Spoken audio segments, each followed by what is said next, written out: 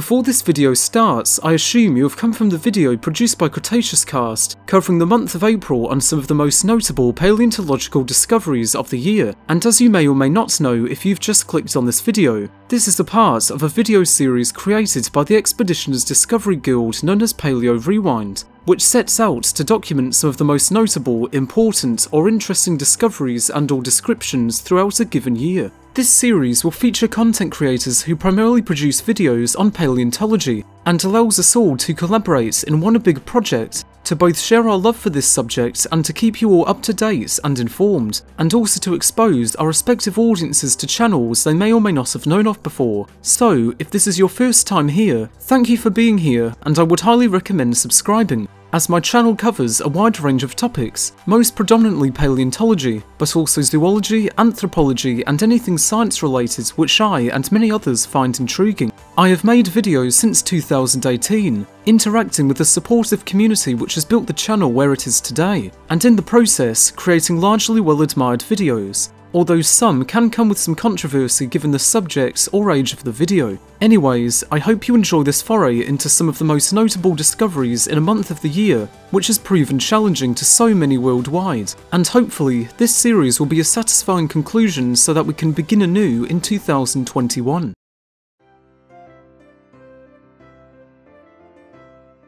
The first of these descriptions and discoveries to be covered for the month of May is one covering the rather well-known dinosaur genus of Edmontosaurus, with a paper reaffirming that the Arctic inhabiting genus of Ugrunaaluk was a nomen dubium of Edmontosaurus, although what they could be specifically still remains up in the air. This was based on anatomical comparisons and phylogenetic analysis, which demonstrated that these animals, based mostly on juvenile remains, did not fit the requirements for a genus level distinction. Until more adults of these more northern animals are found though, the exact position these northern hadrosaurs fill is uncertain as to whether or not they were a distinct species within the genus of Edmontosaurus, or just simply specimens of an already accepted genus like Regalis. Time will tell as to how these highly successful and generalised animals relate to others of their kind, and it will be interesting to see what position future studies take.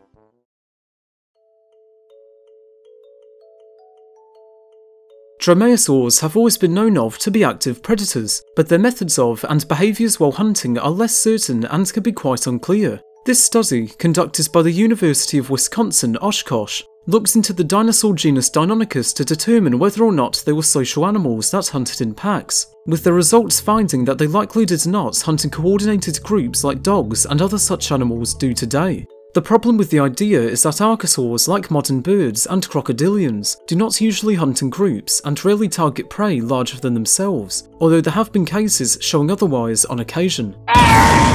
Instead, the scientists proposed a different model that is thought to be more similar to Komodo dragons, in which individuals may have attacked the same animal on occasion, but their cooperation or group dynamic was limited. This was supported by evidence that there was a correlation between pack hunting and the diet of the animals as they grew, with pack hunting animals generally not showing a major shift in dietary diversity as they age. In Komodo dragons, hatchlings are at risk of being eaten by adults, and so take refuge in trees, where they find food sources unavailable to their ground-dwelling parents. Scientists utilise stable isotopes of carbon and oxygen to get an idea of the diets and water sources from them, also looking at a crocodilian and a herbivorous dinosaur from the same formation. The scientists found the Cretaceous crocodilians, just like modern species, showed a difference in diet between the smallest and largest teeth, indicating more solitary hunting, and what would be expected for animals where parents provide little food for their young. What was found was that Deinonychus possessed the same pattern, where the smallest and largest teeth had different carbon isotope values, indicating different diets, meaning that they would have been more solitary animals, likely only getting together for mating or when hunting the same prey opportunistically.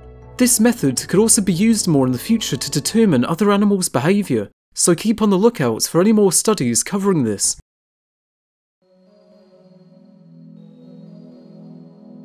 Sexual dimorphism is a great way to tell animals apart, also giving inferences to behaviour as well. It's from this that sexual dimorphism in dinosaurs has been a long-standing and interesting discussion, but gleaming it from fossils, which can be sparse and have preservation bias, means that recording it is very hard. Some attempts have been made to try and show it, but new research by the Queen Mary University of London has shown that despite previous claims of success, It's still very difficult to spot differences between the sexes. The study analysed the skulls from modern gharials to see how easy it was to distinguish between males and females, using only fossil records. They were used for the study as like many dinosaurs, they were large, slow growing and laid eggs, making a good model in turn. Males are larger in size and possess a fleshy growth on the end of their snouts, which is supported by a bony hollow near the nostrils which is identifiable in their skulls. The research team studied 106 gharial specimens across the world, and found that aside from the presence of the Narial fossa, it was very hard to distinguish males from females, even if they knew beforehand which was which.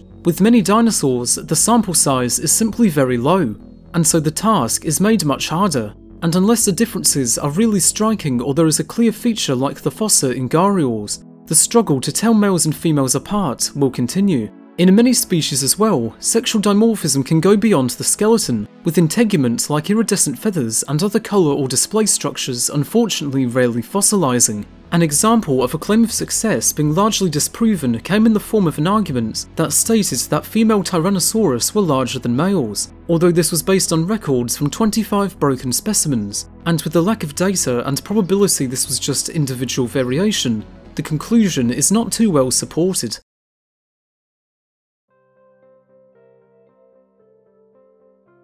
Large nectonic suspension feeders have evolved multiple times across complex life, having occurred four times among chondrichthyan fishes, baleen whales, Mesozoic pachycormid fishes, and at least twice in anomalocaridids during the Cambrian.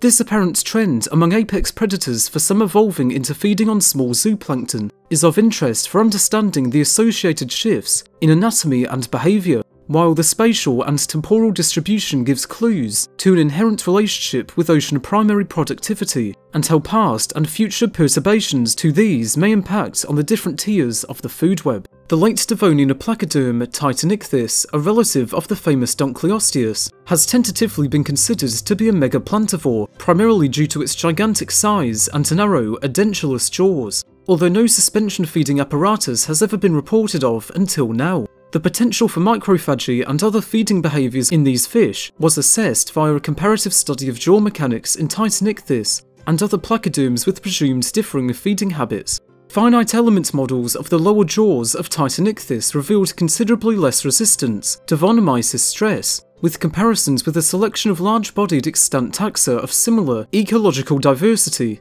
revealed similar disparities in jaw stress resistance, the results therefore conformed to the hypothesis that Titanichthys was a suspension feeder, with jaws ill suited for biting and crushing, but well suited for gaping ram feeding. The small, ineffective mouth plates that lacked a sharp cutting edge meant they would not have filled such a niche like Dunkleosteus, as their jaws were insufficiently mechanically robust. It was therefore assumed that Titanichthys was a suspension feeder, a feeding method that exerts less stress on the jaws, and allows them to better swallow or inhale schools of small fish and or zooplankton, therefore being the earliest known large-sized vertebrate filter feeder, preceding the Mesozoic pachycormids by over 150 million years. The presence of these fish also supports the idea that productivity was high in the late Devonian, and also shows the wide diversity of Arthrodira, the order Titanichthys belongs to.